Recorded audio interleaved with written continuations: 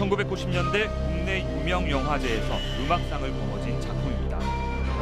이 영화의 음악을 작곡하는 등 한때 왕성하게 작곡 활동을 했던 이모 씨. 최근 부산의 한 시계점에서 말쑥하게 차려입은 이 씨가 그의 아들과 함께 포착됐습니다.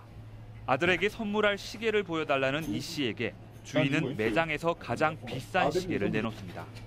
아들이 건네받은 시계를 손목에 차더니 시계 두 개를 더 포장해 먼저 가게를 나섭니다.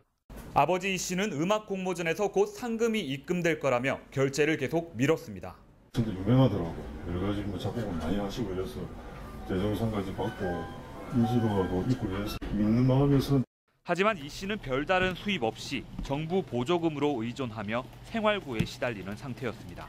아들이 여기 해달라고 시킨다고 해서 그냥 시켰, 시킨 대로 그냥 그렇게 했어요. 근데 이게 큰 죄가 될 줄 몰랐습니다. 저는. 경찰은 이 씨 아들이 가게를 미리 답사까지 하는 등 부자가 치밀하게 범행을 모의한 것으로 보고 있습니다.